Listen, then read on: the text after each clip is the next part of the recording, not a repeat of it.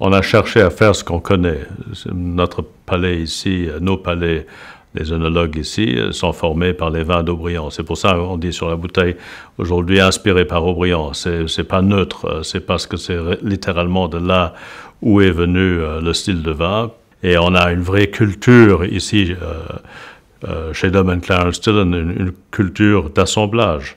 Euh, parce que contrairement à d'autres vignobles, même dans la région bordelaise, on a quand même euh, toujours cette présence importante des trois différents cépages, ou quatre si on compte le petit verre d'eau, euh, où nos œnologues chaque année doivent revisiter l'assemblage de chaque vin. Aujourd'hui, le consommateur, je pense, cherche aussi la légitimité, euh, mais aussi, il faut euh, trouver une vérité euh, dans, ce, qu'on a dans la vie. Il faut rechercher quelque chose qui est finalement représentatif de, la région, du terroir, promesse de qualité, une promesse d'un style, et c'est cette promesse aussi que je souhaitais apporter au vin de Clarendal. Trouver cette vérité dans le vin, ça devient finalement un luxe parce qu'on peut faire des bons vins à travers le monde, mais de trouver vraiment ce style qui correspond à une histoire, à une culture, à une maison, ça c'est quelque chose que personne d'autre ne peut reproduire et ça c'est notre force.